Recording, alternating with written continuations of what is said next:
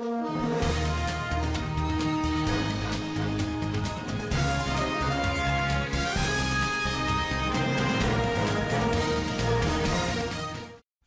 the contested 2023 presidential election, disillusioned Zimbabweans who had lost hope in a change of government have found fresh hope in Nelson Chamisa, the leader of the opposition Citizens Coalition for Change CCC.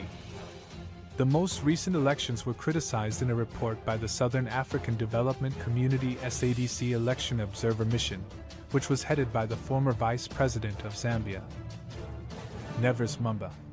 The report characterized the elections as chaotic and lacking in credibility, fairness, and adherence to constitutional and electoral guidelines.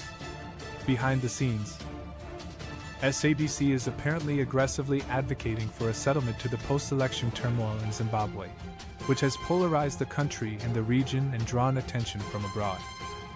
Taking to his X account, Chamisa suggested that the CCC was making headway on the diplomatic front as they temporarily put their legal challenge on hold in order to look for other alternatives.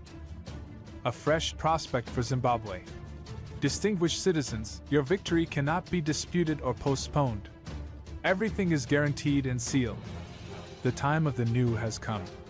Zimbabwe will be regarded as a blessed country with wonderful people, God is in control Joel 2 verses 12 to 29 on Saturday.